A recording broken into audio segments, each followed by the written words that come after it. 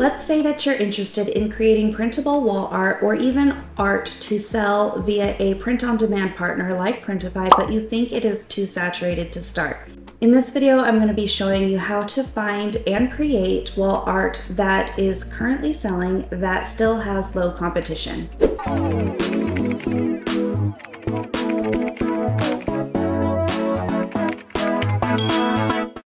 So the first step is to head over to a keyword research tool and there are many out there. In this example for this video, I'm just gonna be using eRank and I actually typed in the type of product that I am wanting to sell.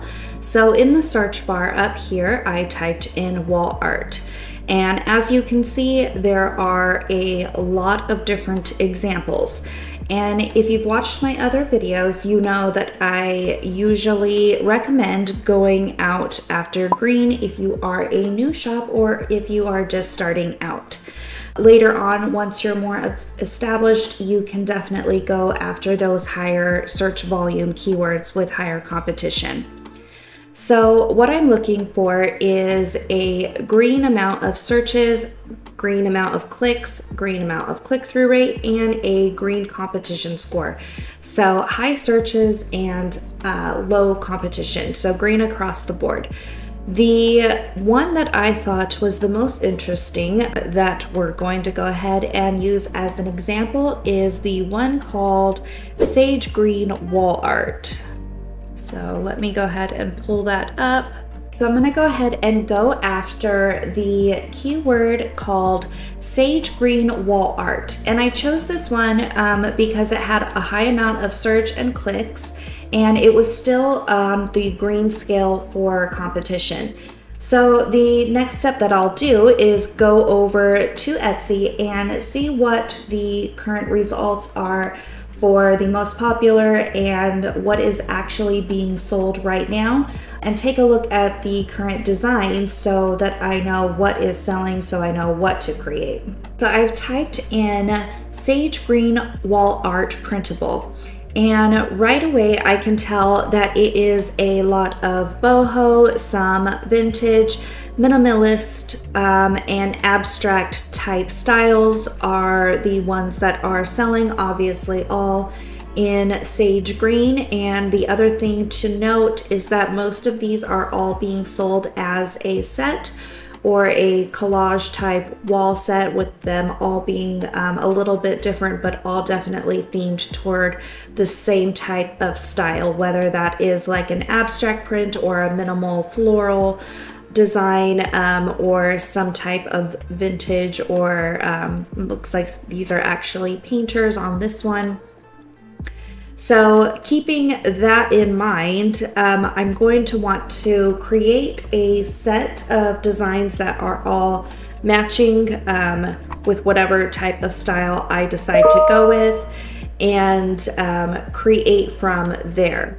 So the other thing to note with, and this is why I chose this for this specific example, when I checked the revenue, well, let me back up a step here. First of all, I went ahead and clicked on all filters and clicked this little digital downloads box so that it would only show me the digital uh, items being sold for this particular keyword. And then I sorted by top customer reviews, which will bring me up the items that have been reviewed the most. And then using my Everbee uh, extension, I clicked on product analytics so that I could get a estimated amount of revenue for the um, designs being sold on the first page. So then I'm gonna go ahead and filter by monthly revenue. And um, this first one here, I'm not gonna count because it is an ad and it um, is not really related to the particular keyword that we had put in. So um, I actually found several stores that were only one month old two months old and three months old, eight months old. So very brand new stores that all had over a hundred sales a month. And so for anyone to say that the printable wall art category is particularly saturated, um, I would argue using this as proof that it's not. These shops have been open literally a month or a few months more and they've already made over 100 sales. All that they did was find a very low competition keyword and they went after that. They also, one shop only had 11 listings in their store.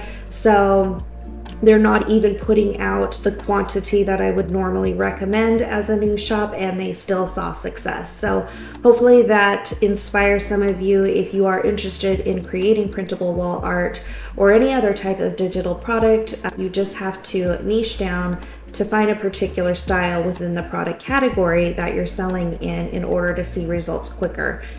So, the next step is actually to go over and create the artwork.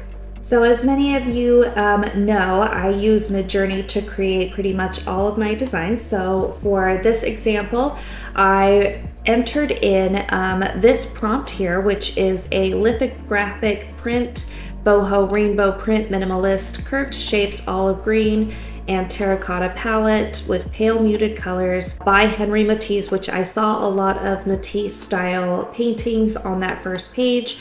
So that is why I went after this particular style.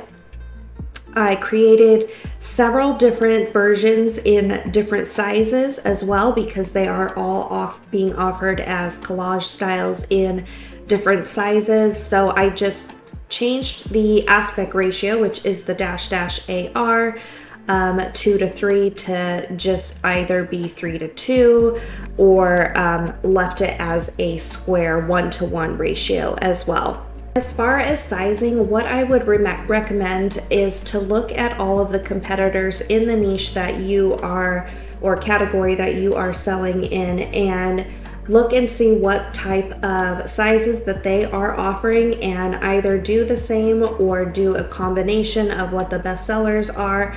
Um, just because if they're currently selling that way, you'll want to create your wall art uh, prints in the same size and offer them that way. Next step is just to download all of your images from whichever AI tool that you are using, regardless of which one, and upscale them in your AI upscaler of choice. There are plenty of free ones out there. I do use the Gigapixel um, AI upscaler by Topaz and um, I have already upscaled them for the purposes to keep this video as short as possible. So I will move on to the next step, which is to size them in Kittl. So I have changed my settings or my size of my canvas to 16 by 20, 300 DPI, optimized quality, and I have added in all of the designs that I downloaded from Midjourney.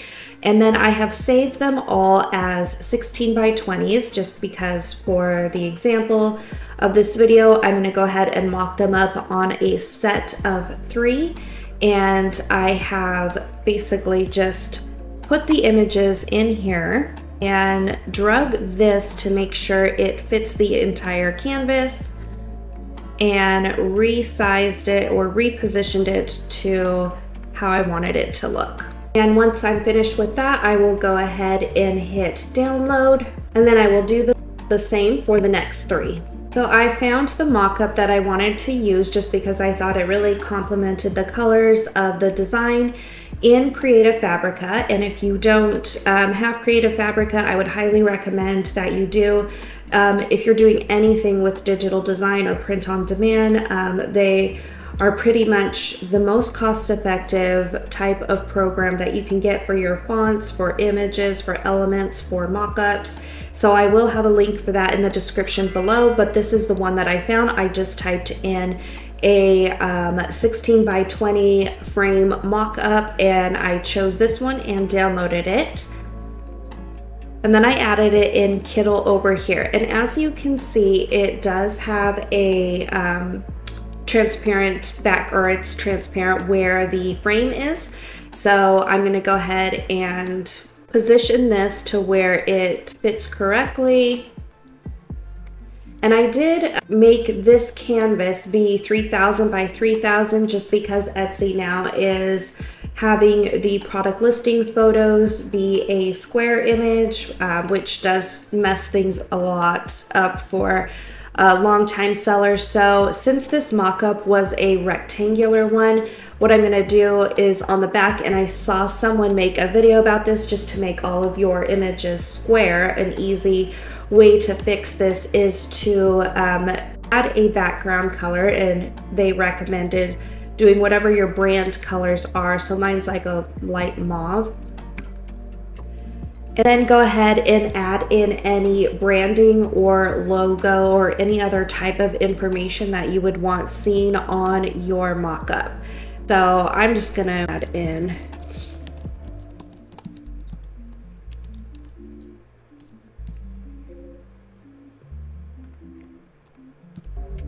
And obviously I would normally add in my actual logo, but just for demonstration purposes, you could totally just type it out or any other type of information that you wanted to.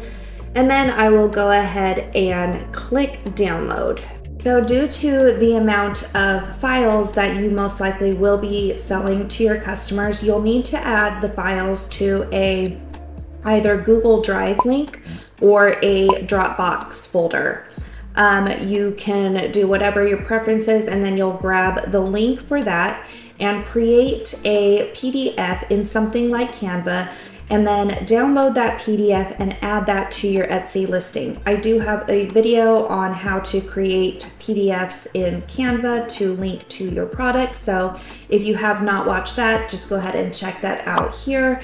And once you have that PDF downloaded, then you will be ready to add that to your listing in Etsy. I hope this video was helpful and if you'd like to see more low competition type product videos, then definitely let me know in the comments and thanks for watching.